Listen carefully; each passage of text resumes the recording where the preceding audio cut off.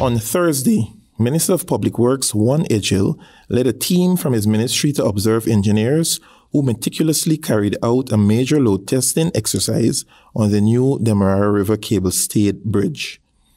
During this process, a number of trucks laden with sand and weigh 20 tons were parked on the high span areas to test the strength and readiness of the cables installed to hold the high span bridge in place. During the operation, advanced sensors recorded stress, strain, deflection, stiffness, and tower displacement, along with the load forces on the supporting cables.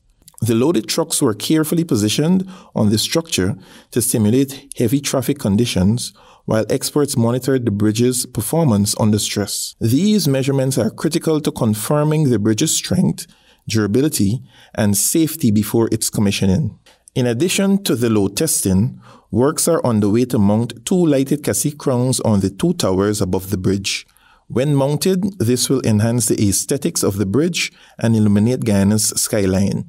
As the bridge moves closer to its official opening, this distinctive feature will symbolize national pride, with the crown representing the second highest national award in the Order of Service of Guyana. The successful completion of this testing signified another step in the right direction and an important milestone in the project. The new Demerara River Bridge, after completion, is expected to provide safe and reliable service for decades to come. Marvin Cato reporting for HGP Nightly News.